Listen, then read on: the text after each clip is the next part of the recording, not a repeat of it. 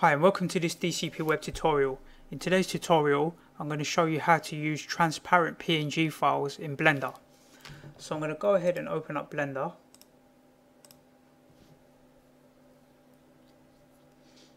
And I'll delete the cube. I'm going to delete the light source.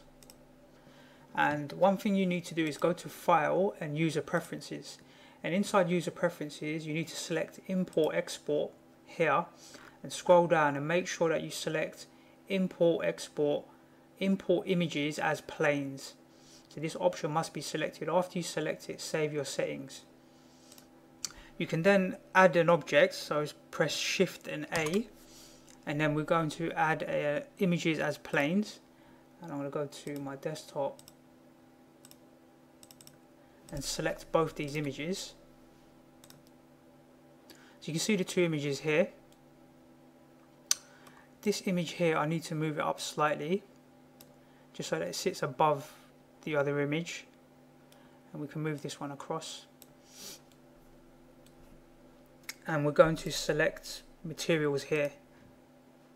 So there's no light source at the moment so we'll, we'll select the tulip. This is the tulip the picture of the flowers at the top. And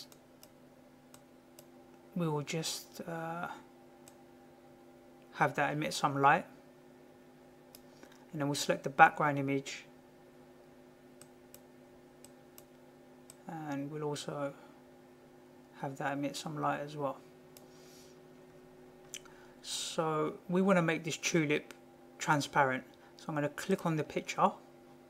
And I'm going to select transparency here. And I'm going to set it to Z transparency. I'm going to set the alpha to 0 here. I'm going to go over to the material here the texture, sorry. And you can use show alpha here. Select use alpha here.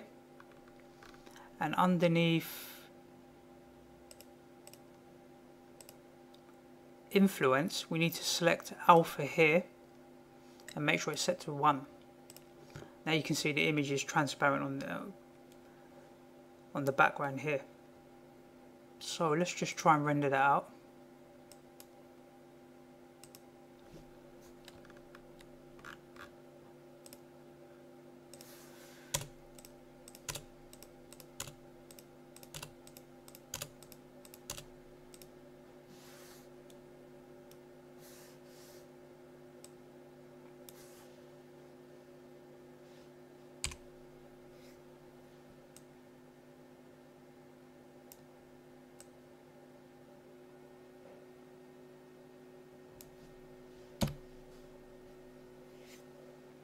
So here we can see the transparent image overlaid on this background image.